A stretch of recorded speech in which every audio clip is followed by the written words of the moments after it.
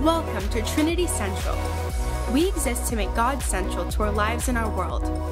You are listening to a recording of one of our Sunday messages. For more information, please go to trinitycentral.org.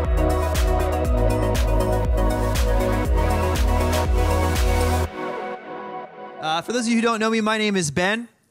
And we are going to enter into the section of our Sunday morning where we get to worship Jesus by hearing from his word. So we believe in the Holy Spirit. The Holy Spirit's here to fill us, to reach our hearts, to speak through us as we just uh, participated in worship. And the Holy Spirit speaks through his word. So we're going to do that together right now. We're going to enjoy God through his word. And for you, uh, if you've been with us for some time, if you're new, hey, you're going to hear about uh, a book called the Psalms uh, today. And we've been going through this book for probably three or four weeks now.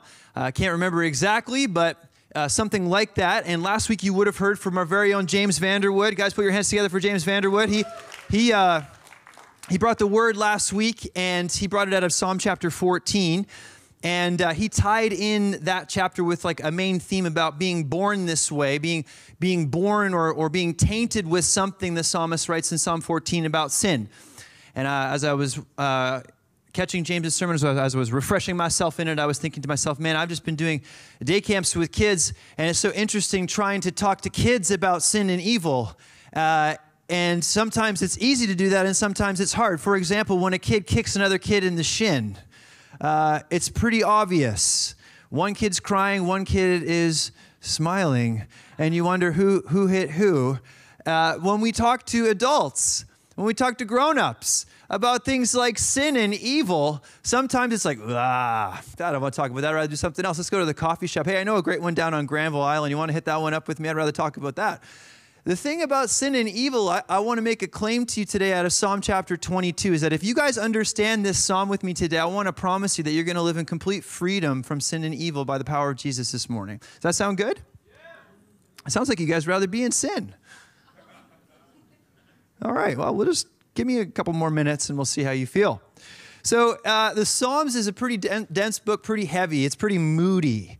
So, uh, you know, I, mean, I able to make a joke. I'm to make it Rochelle. It's coming at my expense. Don't worry. So when we get married, often opposites attract, and I would say I'm the moody one in our relationship. So I, I could see that the Psalms really connects with me. It's, and David is uh, an author of many of the Psalms, and we see different types of joy and praise different types of laments and different expressions of anguish.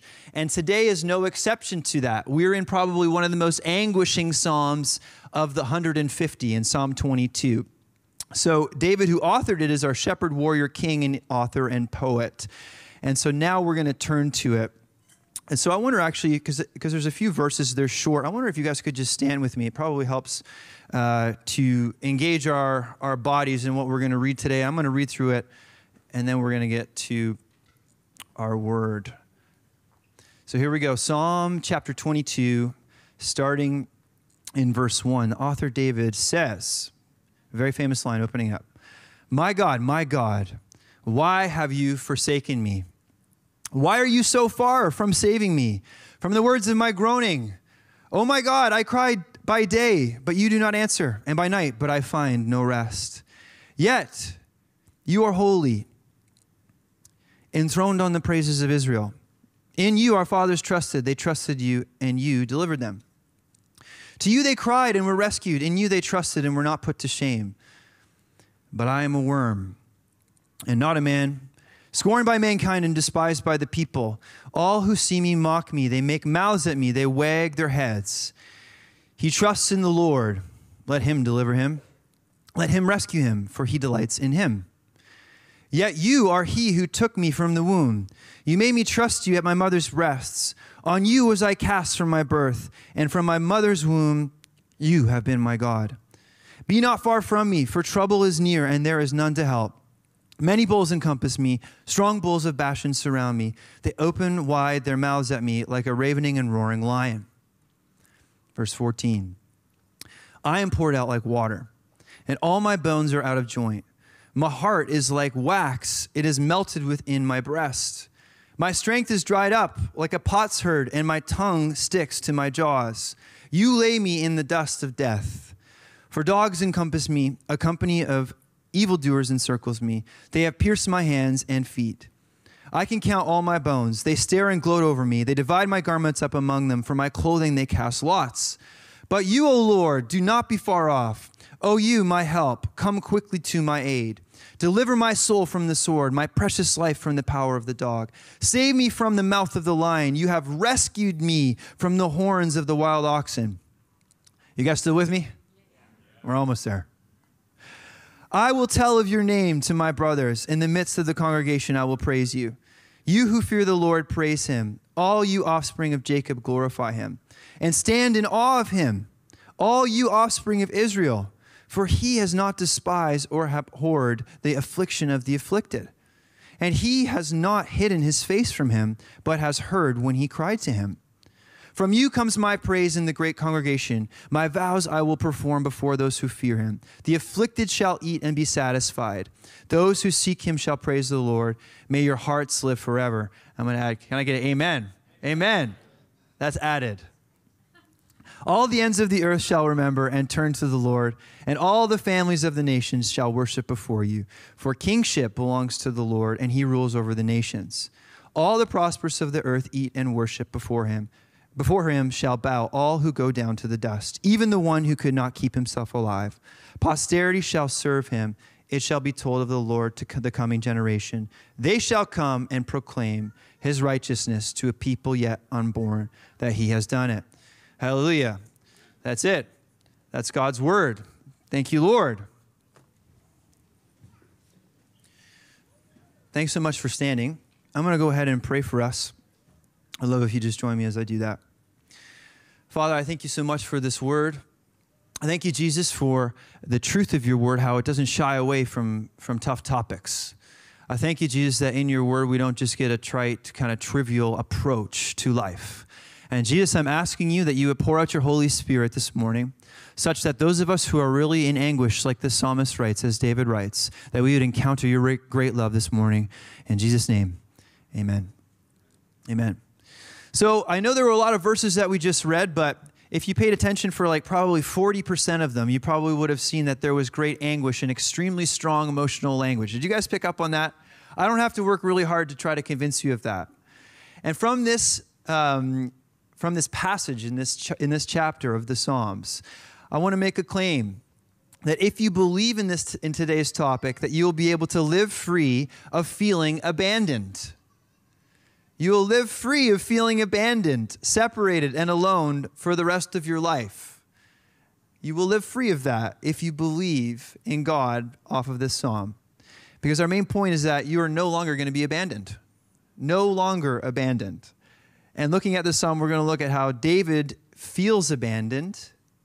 And we're going to see how that points, number two, to Jesus being abandoned. And then we're going to apply it to ourselves. So I. Uh, as a kid, I was talking about kids at day camps before. I remember as a kid growing up in suburban Toronto.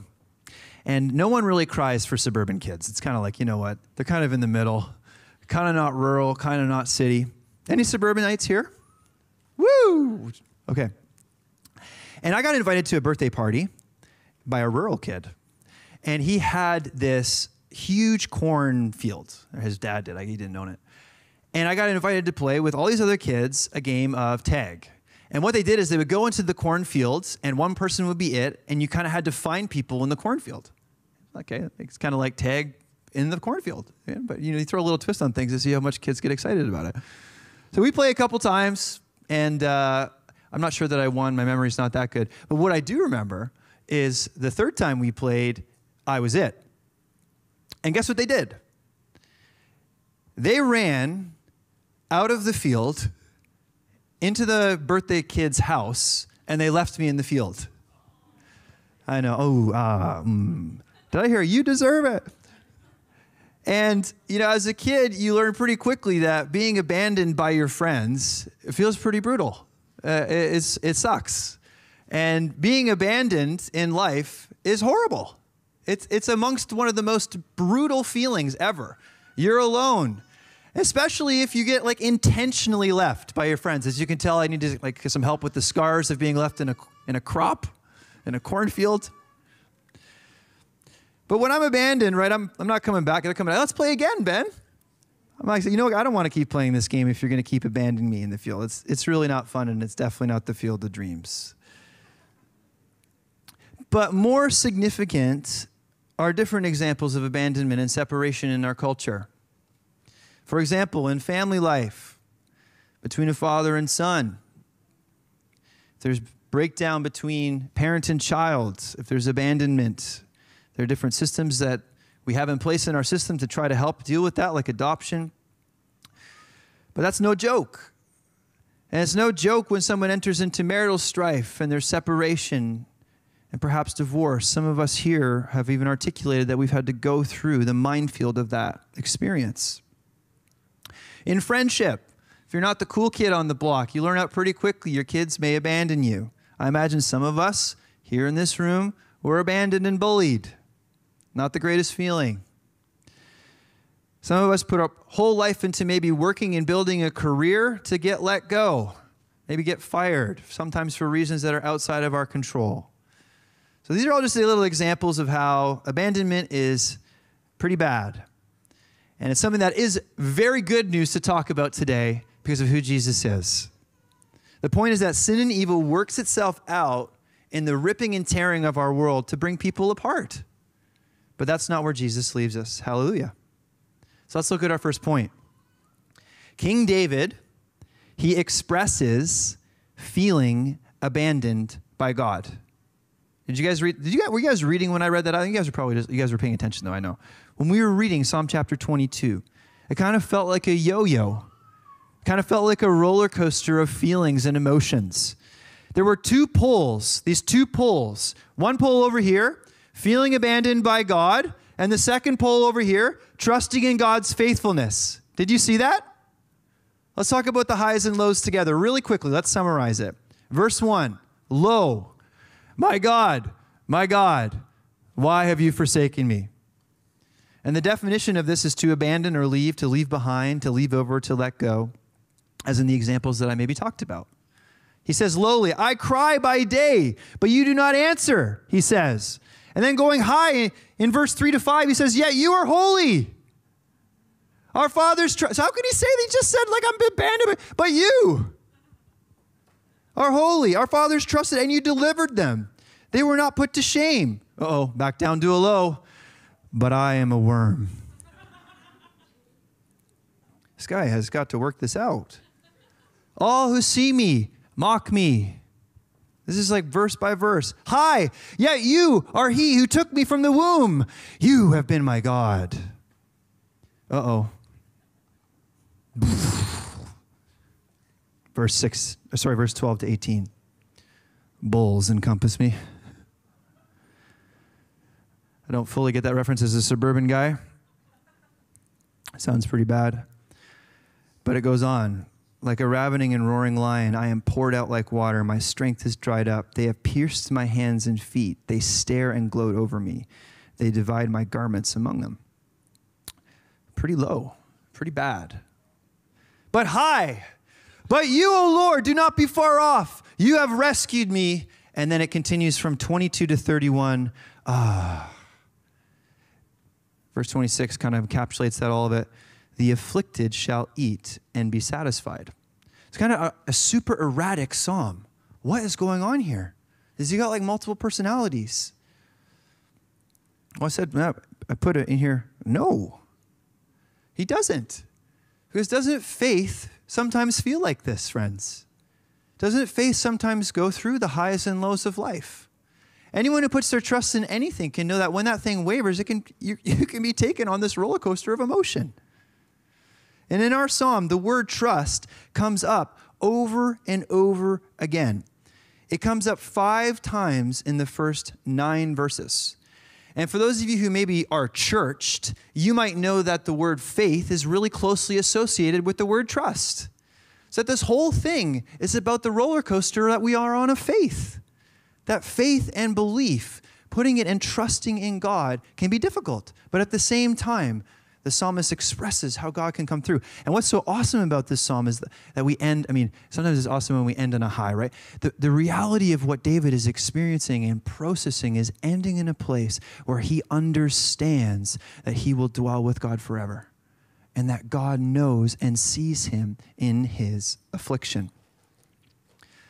So sometimes, friends, if we are maybe moody or have an interesting disposition that is exposed to kind of the waves of life, we can feel ourselves taken on this roller coaster. But we cannot deny that the question that's being asked in our psalm is over and over again.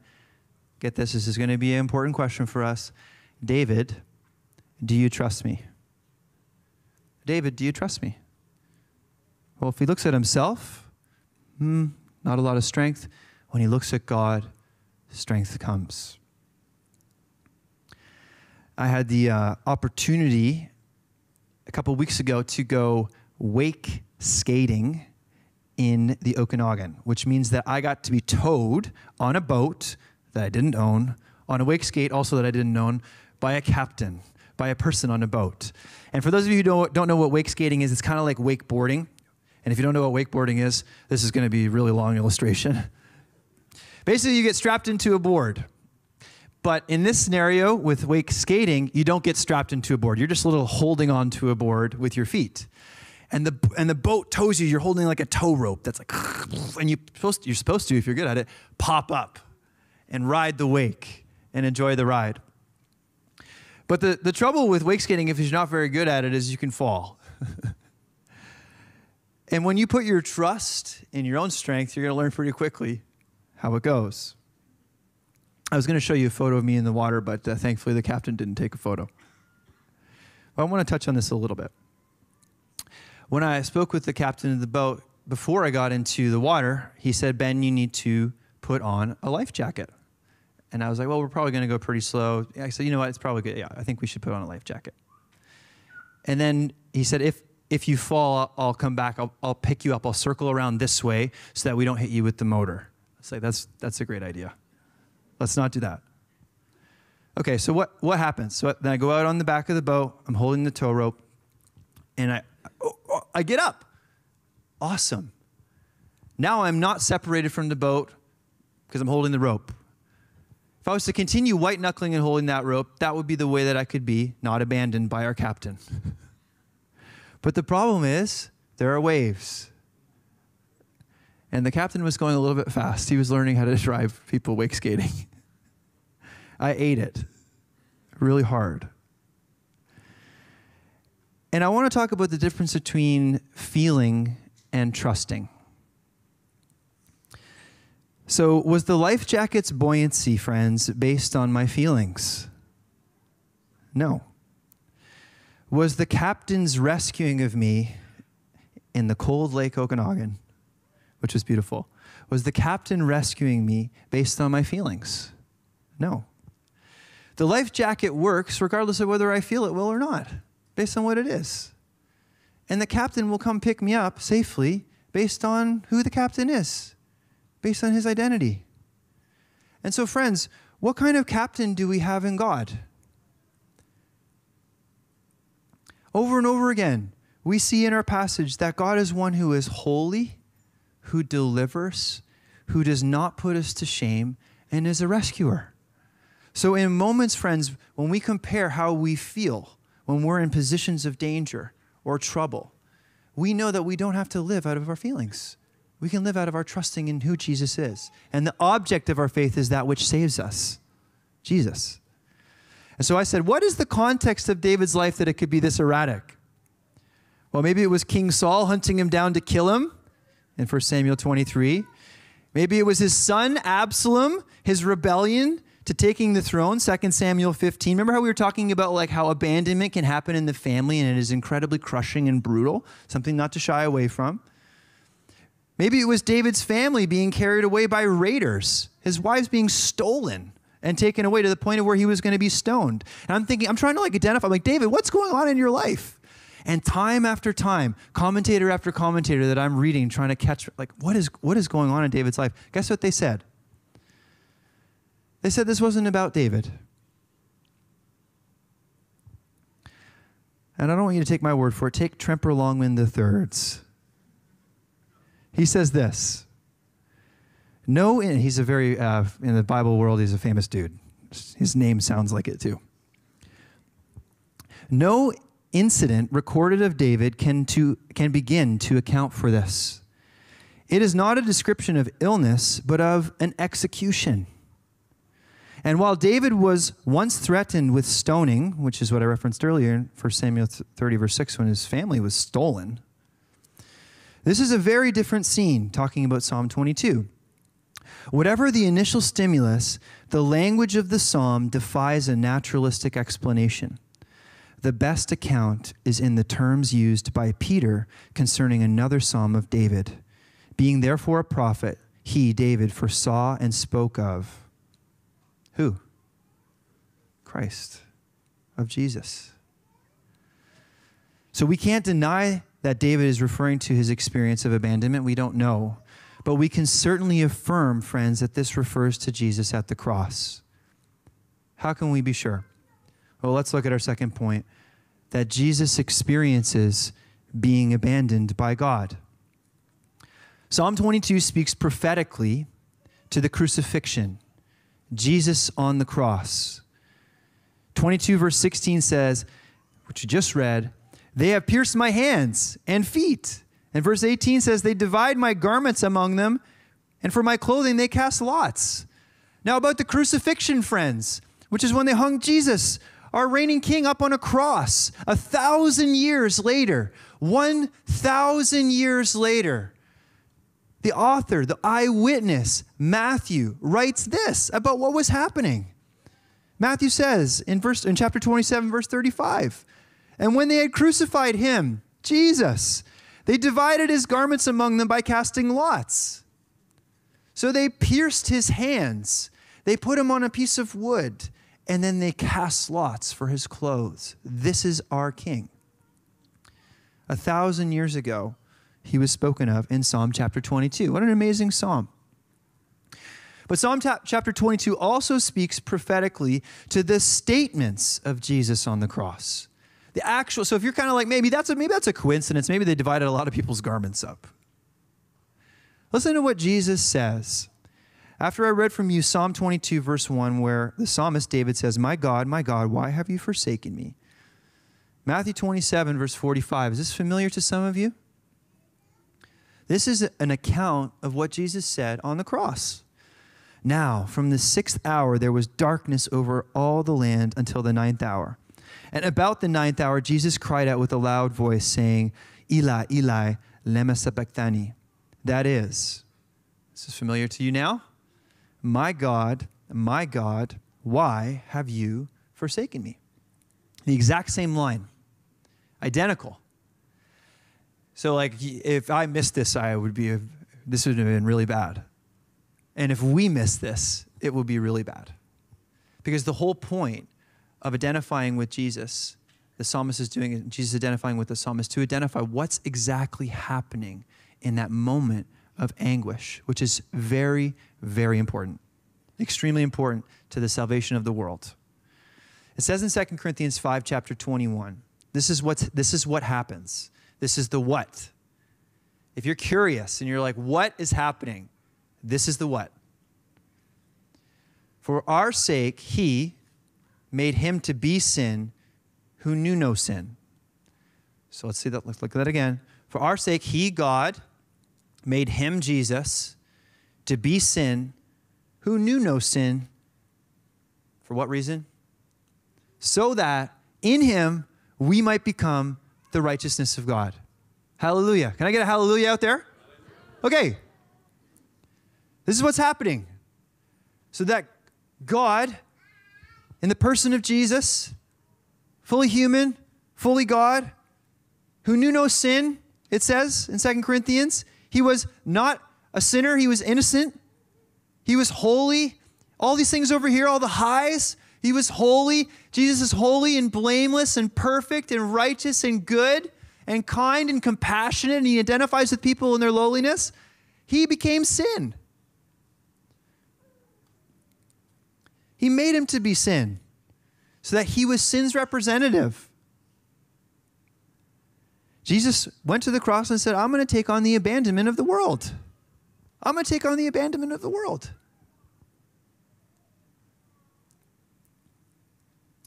So was Jesus truly forsaken by God? Yes. Hallelujah. Why is that good? You see, he says, My God, my God. He doesn't say, My Father, my Father. You see that kind of distance he, he has from God? Usually he says, My, you know, he said, Our, you ever heard the Lord's Prayer before? Come on, you guys probably heard this one, right? Well, how's it, how does it start? Our Father, who art in heaven, hallowed be your name. What does he cry at the cross in the moment of being abandoned by God for the, for the sins of the world? My God, my God, not my Father. So, why does it matter that Jesus was truly abandoned? Why does that matter? Well, it matters because it's according to God's plan, His plan of salvation and redemption to bring us out of abandonment and loneliness. And if you don't yet believe that this matters, I want to talk about why we struggle with this in our culture, that we do struggle very significantly with abandonment. And to do that, I turn to the very famous Vancouver Sun, which is our local paper. And I believe that the human condition starts with a position of sin and loneliness and isolation, and there's this quest, there's this heart cry, there's this connection, this desire for community and belonging, for satisfaction in each of our hearts. And we set ourselves up for great trouble in this city because this city is one that is incredibly lonely at times. And if you don't believe me, believe this Vancouver Sun article. So on June 26, 2022, the article reads BC lags behind other provinces in life satisfaction. Building community connections strengthens life satisfaction was the subtitle. And in it, uh, a girl named, uh, what was her first name? Katrina Martin said, in 2021, said, we should be friends. And so she started this uh, Instagram group and said 200 strangers showed up at her first meetup in Kitsilano Beach last fall with name tags, card games, spike ball, and volunteers to help make connections uh, and, and make awkwardness fade away fast. She said, Everyone who comes is in the same boat, said Martin. And then she says this at the very end of her article Loneliness and isolation has a physiological effect. I didn't have a friend group for a couple of years. I have that now, and it's something I don't take for granted. And so, friends, we are living in a world that struggles deeply with loneliness and abandonment and separation and isolation and disconnection. And at the same time, positively, in this struggle, we're longing for connection and for community and for belonging and for acceptance and for friendship. And the reason why it's really good news that Jesus took on the abandonment of the world is because that we don't have to feel the pressure of making that connection happen anymore. We can't carry the weight of that connection on our hands. We don't have to be Jesus because we never could be. Jesus gives us an opportunity to break the cycle of disconnection and abandonment. It is done. And I turned to a, a pastor down in the U.S. in, a, in the state of Oregon, and he, he talked about he talked about this is what happens. His name is Paul Leboutillier. I believe that's French. I, I rolled it. Paul says this how can God forsake you in Christ when he has already forsaken his son on your behalf? It is finished. It's done. It's completed. There is no more forsakenness to dish out. Why is that sometimes I feel that God has forsaken me? You guys ever been there before? I'm going to read that again. Why is it that sometimes I feel that God has forsaken me? And Paul says, because those are your feelings and your feelings lie. Your heart, the heart is deceitful. It is actively trying to deceive you. So doubt your feelings. And so, friends, for those of us who believe and confess and believe in Jesus Christ, we have a great hope that God will never leave us or forsake us. And the reason why we can say that is because he did it to his son. And his son took on the sins of the world. And so now I want to apply this to our lives. How does that sound? Good?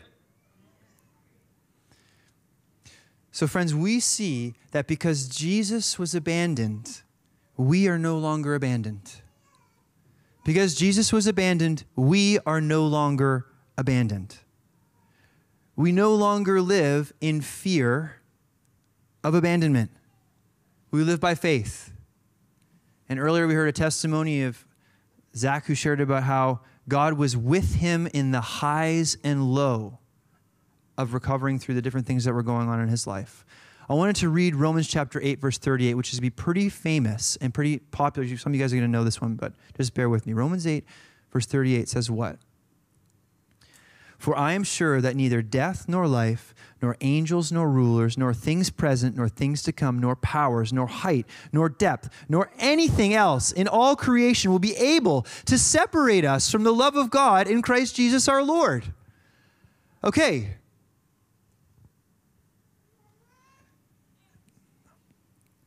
no height, nor depth, nor anything else in all creation will be able to separate us from the love of God in Christ Jesus our Lord. Now, there is no other claim in the entire world like that. Nothing.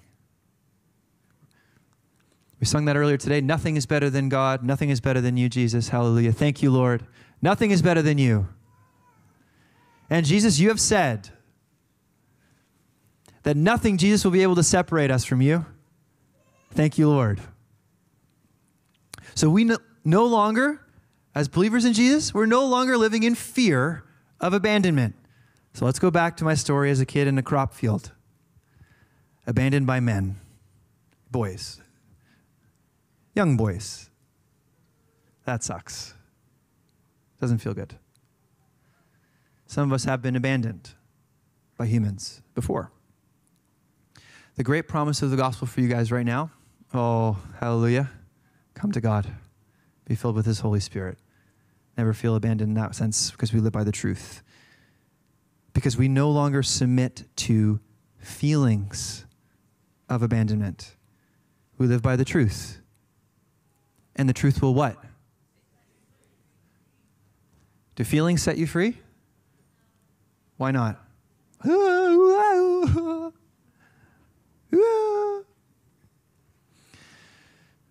Bible talks pretty openly about a couple things that set us free. One is the Holy Spirit, where the Spirit of the Lord is, there is freedom.